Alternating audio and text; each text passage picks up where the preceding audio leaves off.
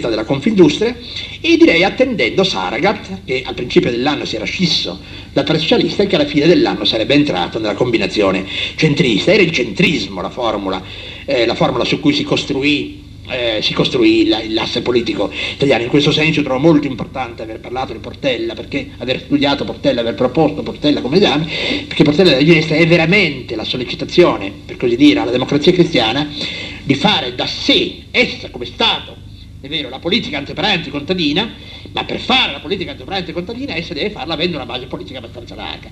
Il centrismo, scelta, simbolo del centrismo, voleva dire violenza anticontadina, violenza antiparaia e capacità di avere i socialdemocratici liberali in una certa, in una certa combinazione. Ecco, sulla, il punto secondo me più, più grave, più importante è questo, cioè che su cui credo, non so, spero che parlerà Pavone, che ne può parlare molto più, molto più seriamente di quello che posso parlare io. La forma dello Stato italiano era stata risolta col referendum istituzionale del 2 giugno 1946, cioè era messa la Repubblica al posto della monarchia. Però la sostanza, la natura dello Stato italiano non cambiò, la Costituzione materiale, quella che si chiama Costituzione materiale, cioè l'effettivo rapporto, struttura dei rapporti di potere all'interno delle istituzioni, non cambiò, anche se era cambiato il suo vertice. Naturalmente non voglio sottovalutare l'importanza della partenza del re, perché la partenza del re significò la figlia dell'ipoteca dell'esercito, esercito che era stato poi sconfitto dalla, dalla guerra e che usciva a pezzi, ma, eh, ma comunque il quadro istituzionale eh, rimase praticamente, praticamente, immutato. E direi che ehm, nella Costituzione eh, entrarono dei principi molto importanti, il diritto al lavoro, la partecipazione dei lavoratori alla gestione delle imprese, forme di controllo antimonopolistico contro gli abusi, eccetera, ma quello che colpisce è che tutte le proposte di rinnovamento che la, la, la, Carta Costituzionale proprio nel 47, l'anno della Carta Costituzionale viene fatta nel 47, non, po- non eh, prevedono alcuno strumento operativo. Cioè tutte le cose vengono dette e enunciate, ma non c'è nessun elemento. E notate che in quel momento, per esempio, a prova di partecipazione, c'erano ancora i consigli di gestione, ma non vengono nominati perché deve essere affermato il principio, ma non la pratica. Invece entra, per, per volontà dei naudi della democrazia cristiana, un elemento operativo decisivo che proprio nel momento in cui tu affermi il diritto al lavoro, entra l'articolo 81 della Costituzione, che se non sbaglio nel suo terzo comma, stabilisce che nessuna spesa può essere fatta se non è assistita da una nuova entrata, che voleva dire il rifiuto costituzionale della Costituzione italiana di qualunque spesa in deficit. Quindi il criterio fondamentale dell'economia italiana, secondo la Carta Costituzionale, sì, è che bisogna contemperare l'interesse privato con l'interesse pubblico, ma poi alla fine della Costituzione si dice che quello che conta è la parità dei bilanci, il pareggio dei bilanci.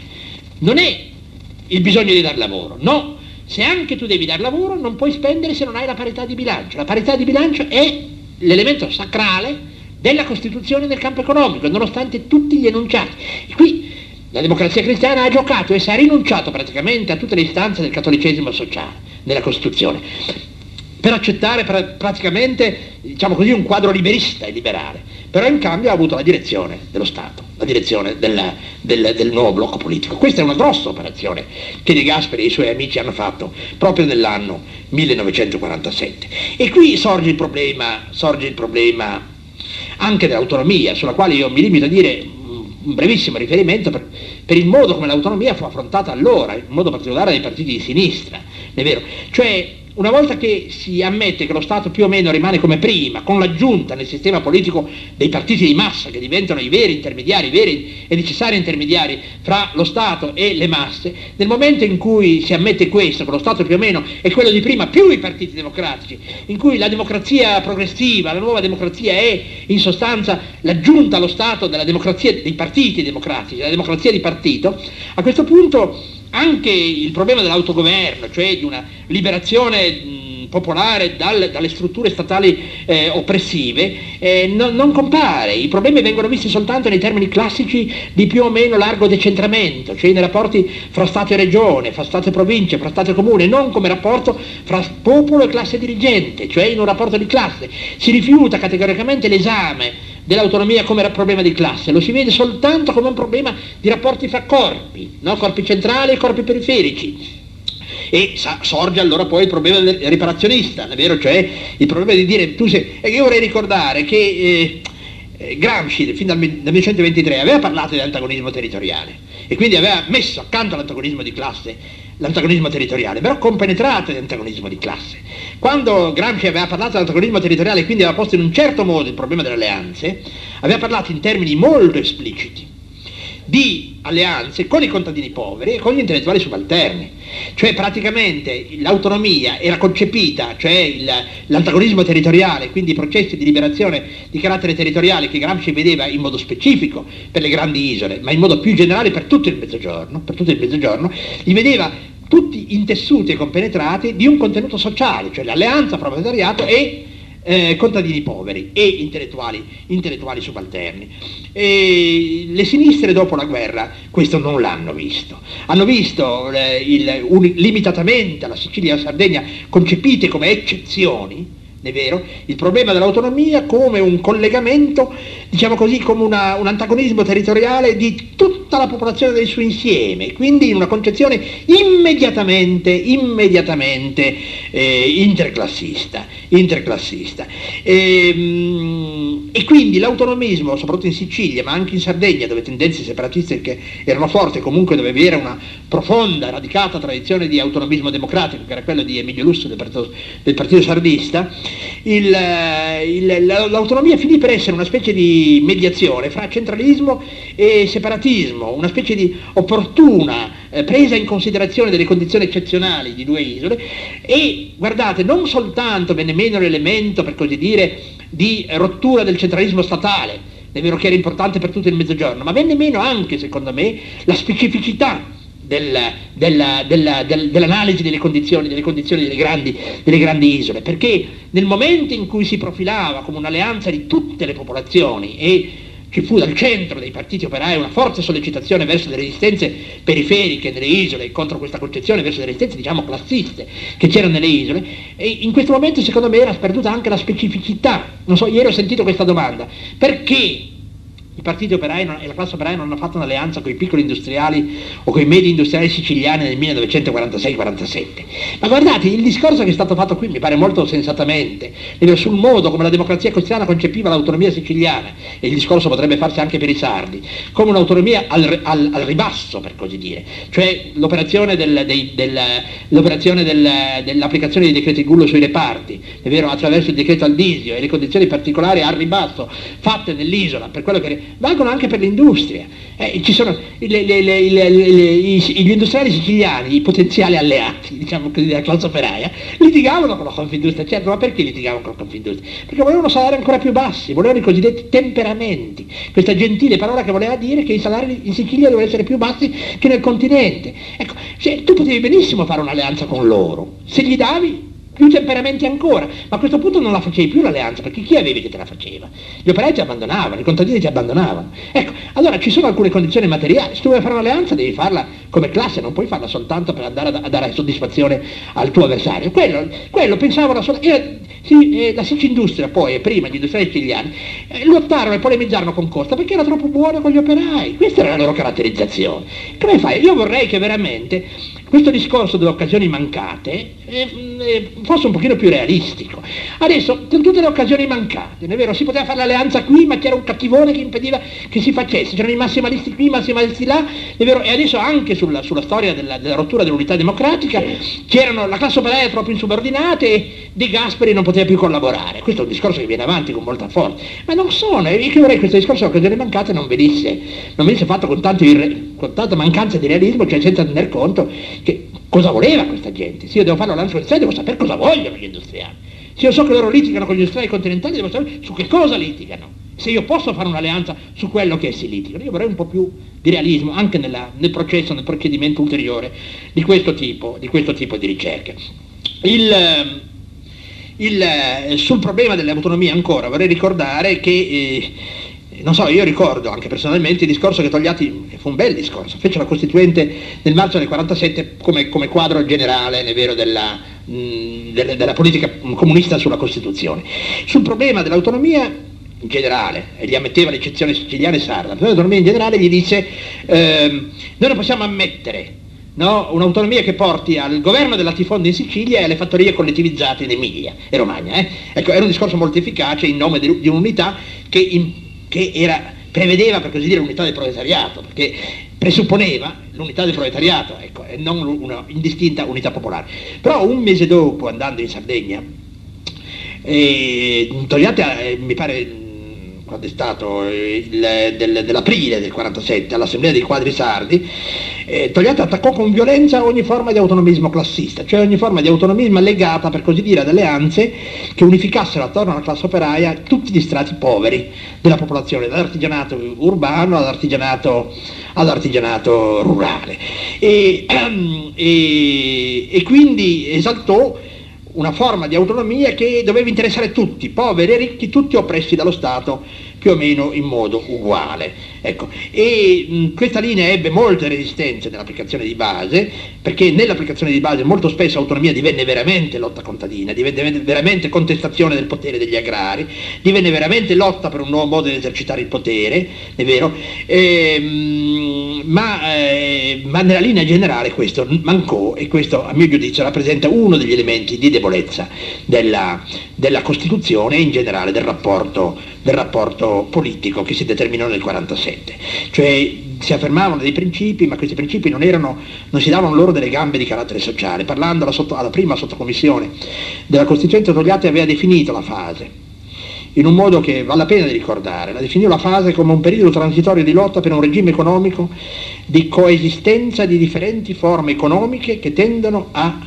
eh, soverchiarsi eh, le une con le altre. Un giudizio che riconosceva implicitamente dietro le forme economiche dei soggetti sociali, cioè le classi, ma non indicava nessun disegno per la linea di soverchiare, per cui le posizioni di attesa delle sinistre, in qualche modo di cui si è già parlato qui, cioè una posizione che in qualche modo attendeva le soluzioni dall'esterno, non riconosceva nell'otto operaio la possibilità di una transizione al socialismo, si incontrava con la linea democristiana di eh, non mettere in moto nessun processo reale. Il 47 fu un anno conclusivo della vicenda, io voglio ricordare brevissimamente gli episodi politici più significativi, la scissione socialista a principio dell'anno, il viaggio di De Gasperi in America, la crisi di governo nel mese di gennaio e il suo ritorno dall'America, la conclusione del trattato di pace, l'inclusione nel marzo del concordato dentro la Costituzione, le elezioni siciliane dell'aprile, le quali hanno dato un enorme, come dire, hanno aperto uno spiraglio sul potenziale, sul potenziale popolare proletario eh, non solo della Sicilia ma di tutto il mezzogiorno e quindi del potenziale di rinnovamento che esisteva, Portello della Ginestra che fu una risposta specifica all'elezione del 20 aprile,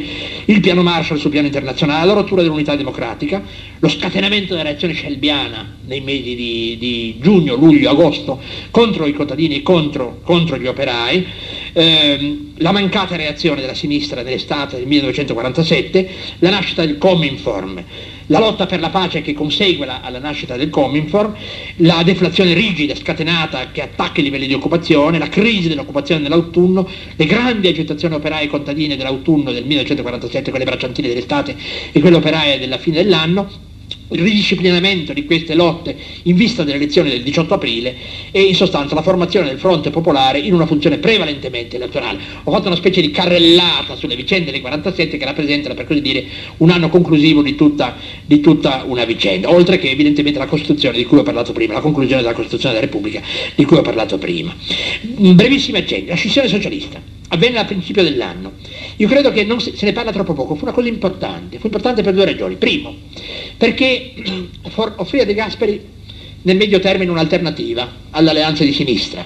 Secondo, perché nonostante tutto, nonostante che il Partito Socialista abbia avuto allora con la scissione un calo netto di influenza politica e soprattutto elettorale, però rimase confermato in qualche modo che il Partito Socialista era un partito di classe che non diventava un partito socialdemocratico, cioè rimase confermata quella tradizione che sia pure per varie ragioni era stata affermata nel, nel, nel 1914 e 15, quando il Partito Socialista unico, oltre il Partito Socialdemocratico russo, che però non, è, non, aveva una rappresentanza parlamentare, non votò poi i crediti di guerra. No? Ecco, allora eh, questo carattere, diciamo così, classista del Partito Socialista eh, va ricordato perché rappresenta un elemento in qualche modo dinamico della situazione, che ha consentito alla situazione di non chiudersi anche se offriva la scissione a De Gasperi delle anni. Io sono convinto, e so qui di dire delle cose probabilmente abbastanza eretiche, che eh, la scissione era figlia del governo tripartito era figlia dell'alleanza tripartita. Perché era figlia dell'alleanza tripartita la scissione socialista? Perché l'alleanza tripartita affidava formalmente alla democrazia cristiana la rappresentanza del ceto medio, cioè l'alleanza sociale di proletariato del ceto medio era configurata a livello politico come alleanza fra Partito Comunista Socialista e Democrazia Cristiana. La Democrazia Cristiana era il partito politico del ceto medio. Così tutta quella parte socialista che per ragioni tradizionali e politiche vere avevo, poteva avere, ebbe nel 45-46 un'influenza effettiva nel ceto medio, si vedeva praticamente delegata la rappresentanza del ceto medio alla democrazia cristiana, per cui rimase in qualche modo abbastanza svuotato. Lo stesso avvenne col Partito d'Azione.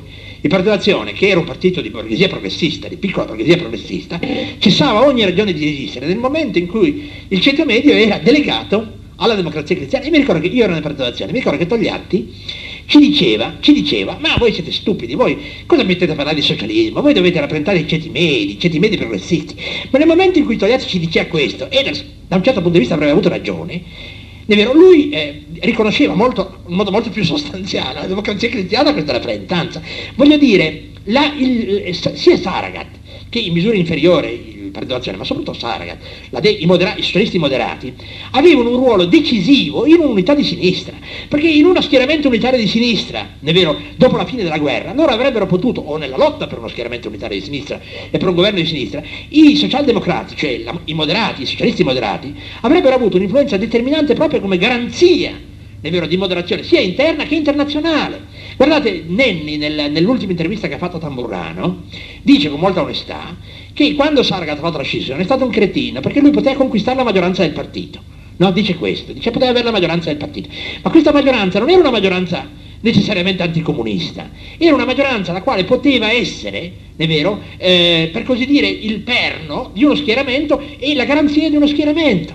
Il tripartito, affidando tutta la democrazia cristiana, che poi diventava un partito atlantico, è vero, offriva alla destra socialista una straordinaria occasione di dire diventiamo importanti, diventiamo preziosi, l'unico modo di diventare importanti e preziosi è di andare con la democrazia cristiana. Questo fu secondo me il significato. Secondo, secondo punto che volevo ricordare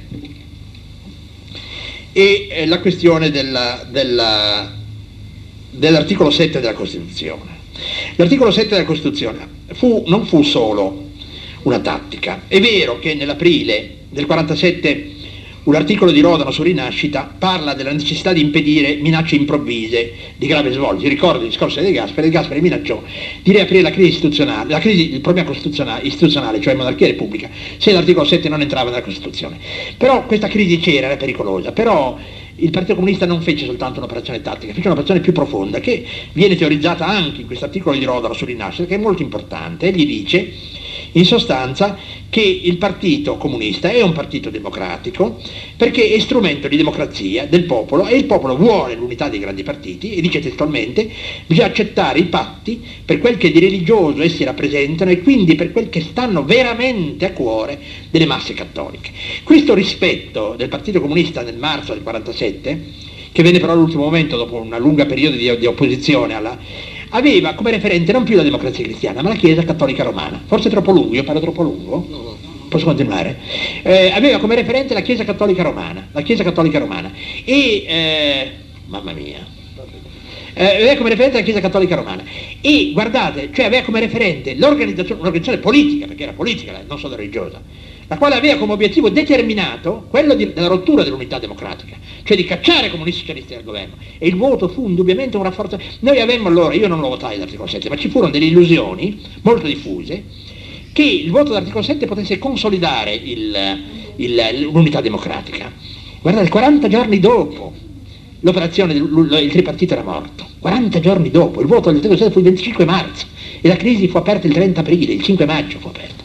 Voi capite cioè il, il regalo dato dalla Chiesa Cattolica le ha dato l'immediata forza di rompere, di esercitare sulla democrazia cristiana l'ultima pressione per rompere, per rompere la, la, la, la, Ecco, sul, sul, eh, sul, governo, eh, sul governo, sulla crisi di governo di gennaio è abbastanza importante ricordare, ricordare la, curiosa... Ehm, insensibilità che le sinistre hanno avuto. In gennaio De Gasperi va in America, torna dall'America, io non credo che il governo americano abbia esercitato una pressione molto forte, perché io sono d'accordo con Gallerano che l'identificazione del sistema americano con il sistema mondiale era qualcosa di più che una pura e semplice pressione esterna era per così dire una, una identità di campo all'interno della quale vi erano delle articolazioni, delle possibilità di resistenza e di movimento. Io sono molto convinto di questo. Non credo che De Gasperi sia tornato con l'idea, poi è tornato con l'idea di diminuire i comunisti, ha cacciato Scocimaro dal Ministero delle Finanze, è vero? Ecco, e, e, ha ridimensionato i socialisti e i comunisti nel governo. Il, il commento del, del, del partito del, ufficiale del Partito Comunista fu, e dei socialisti fu sorprendentemente ingenuo perché io credo sincero, non credo che mentissero, non credo che dicessero queste cose per ingannare i compagni. Loro dicevano che era una crisi fatta per scherzo. Togliatti scrive testualmente, è una crisi per burla. Non c'è nessuna ragione, dice ma come? Ma cosa avete cambiato? Avete cambiato niente? No, come ha cambiato niente? Scocimaro rappresentava l'imposta patrimoniale, il cambio della moneta, rappresentava la volontà di rinnovamento, non aveva nessuna possibilità di farlo. Io ricordo, era completamente paralizzato, completamente chiuso, ma simbolicamente il Ministero delle Finanze, cosa ha significato la crisi di gennaio? Ha significato la garanzia data al capitalismo italiano, ha significato di dire questa è la via che abbiamo scelto eh, due settimane dopo la formazione del governo, in sede di discussione sul governo del gennaio, il democristiano Scoca disse apertamente la nostra linea è la linea dei Naudi e la illustrò in tutti i suoi pezzi. Era la scelta di campo, come si faceva a ignorare questo elemento? Cioè che la crisi di gennaio era già veramente non solo la rottura dell'alleanza, invece fu presentata come una vittoria, testualmente, si disse, è una vittoria della sinistra perché ha impedito che ci cacciassero fuori, ci cacciassero fuori. Il nuovo governo abolì il prezzo politico del pane, il nuovo governo non diede soddisfazione ai ferrovieri, il nuovo governo aumentò subito le tariffe dei servizi pubblici. Vero, e si creò nel Partito Comunista e per Socialista una, una, forte tensione interna. In una circolare interna dell'aprile il Partito Comunista alle sue organizzazioni dice è vero abbiamo abolito il prezzo politico del pane ma state attenti, questo era il prezzo per poter stare al governo, questo nell'aprile. Il mese dopo il governo era finito. Eh, cioè in altri termini quello che colpisce nelle sinistre di allora è il fatto che le sinistre di allora preva- facevano prevalere in modo tale l'unità rispetto ai suoi contenuti e pensavano che fosse possibile sacrificare i contenuti e salvare l'unità, mentre nel momento in cui tu sacrifichi i contenuti tu liquidi l'unità. Questa fu la lezione, per così dire, eh? la lezione in qualche modo del, del, del, 1900, del 1947. Eh, sì, vabbè, io lascio perdere. Quando Scoccimarro fu licenziato dal governo nel gennaio-febbraio, il partito lo ringraziò pubblicamente, ma non lo ringraziò per aver tentato di fare, senza riuscirvi, le operazioni di modifica del modello di sviluppo italiano. Lo ringraziò per aver pareggiato il bilancio, l'ombra di Quintino Sella ha aleggiato continuamente su tutta la, la, la vita politica italiana. Fu questo il ringraziamento che, che si ricevette. Hai pareggiato il bilancio. È vero, era, era, cioè l'ideologia borghese, proprio nella sua forma più conservatrice, dominava questo tipo, di, questo tipo di attività. Guardate che quando io parlo di questo non è una critica esterna che faccio, io ero con loro e avevo le stesse illusioni, voglio dire questo non è che il condizionamento culturale non era un tradimento soggettivo, eravamo così perché pensavamo così, perché questo erano, erano il nostro modo di pensare allora, no? il nostro modo di pensare. Anzi, un po' in fretta vorrei dire vorrei arrivare alla crisi, alla crisi di maggio, no? La crisi di maggio è la formazione del nuovo governo De Gasperi in Auli. Essa fu anticipata la crisi da una lettera che è stata pubblicata recentemente di Costa De Gasperi del 14 aprile, che è una straordinaria nitidezza perché De Gasperi spiega tutto, che bisogna fare il mercato aperto. Tra l'altro la, la, l'ideologia era questa, dice qui si bisogna scegliere o il mercato o la politica, diceva Costa, no? O il mercato o la politica. In realtà quello che gli chiamava mercato era una politica, la politica del capitale, no? E quello che gli chiamava politica era invece il tentativo di tener conto dei bisogni sociali, di un diverso meccanismo di sviluppo che tenesse conto di certe esigenze o di occupazioni o di bisogni sociali. Quando si arriva alla, alla rottura, alla rottura. Dico subito, è inutile, trascio anche tutti i tentativi fatti dalle sinistre per impedire la rottura, le proposte fatte proprio verso il cosiddetto per quarto partito, quello che, quello che De Gasperi chiama il quarto partito, che è il partito del capitale, è vero, le proposte fatte di collaborazione in ogni genere. Quando si arrivò alla, alla rottura, la cosa che colpisce è il fatto che il, la risposta delle sinistre fu oltremodo fiacca. Cioè, essi dicono, giustamente, che non c'erano programmi, contrasti programmatici insuperabili si dice che il nuovo governo non serve a salvare la lira, come se l'unico problema fosse salvare la lira e non tutte le enormi, drammatici problemi che si agitavano nella società. Eh, si conferma che si è tutti dentro la lotta con l'inflazione. Le critiche a Inaudi sono singolarissime. Inaudi è criticato dai socialisti e dai comunisti solo per ragioni tecniche. Si dice che manca di energia, che non ha capacità di direttive, Togliatti era stato suo scolaro, come sono stato io all'Università di Torino, e si ricordava questo buon uomo che veramente era, non aveva nessuna, nessuna, apparenza di essere capace di, di, di governare. No? Si diceva che si era fatto rubare il cliché per il cambio della moneta, l'unica critica politica sia che era monarchico, no? ma sulla politica della deflazione non si disse nulla. Ancora nell'estate, nell'autunno del 47, noi, dico noi, abbiamo considerato l'inflazione come il nemico numero uno e non vedevamo che fa- le fabbriche stavano chiudendo. È vero, la riconversione industriale, la ristrutturazione avveniva col processo della deflazione che la Confindustria aveva accettato come momento di unificazione del fronte, a un certo momento, per dare un colpo mortale alla classe operaia nella società e non soltanto per espellerla dal governo. È vero, eh, c'è sempre questa simmetria, quando tu fai un atto politico, poi fai anche un atto economico-sociale. Eh, in, in tutto altro campo, nel 26, ehm, le leggi eccezionali furono accompagnate dalla politica di deflazione. Le due cose vanno insieme, tu colpisci a livello politico le forze operaie, devi colpirle anche a livello economico. Tutto questo non... Ecco, l'unica cosa che si disse è che in qualche modo bisognava fare un appello alla, alla, alla, alle elezioni, alle prossime elezioni. È importante ricordare però come sintomo reale della situazione di classe che sia il Partito Socialista che il Partito Comunista hanno sentito allora il bisogno pubblicamente e anche in circolari interne di fare dei durissimi ammonimenti a quelli che chiamavano provocatori e avventurieri, che possono agire nel movimento operaio e nelle stesse file del partito, questo è la circolare, no, il, comunicato della direzione comunista, per, per, per creare resistenze inconsulte alla alla continuità della linea dei partiti di sinistra che era la linea pacifica di unità di collaborazione. Solo nel settembre, cioè nell'agosto, comincia a esserci una circolare di Longo e di Secchia che prende coscienza della gravità della situazione e comincia a dire eh, bisogna eh, sostenere di più la lotta, però la lotta economica, è vero? E in agosto esce anche il famoso articolo di Togliatti, le lotte del lavoro, di esaltazione della lotta bracciantile che cominciava.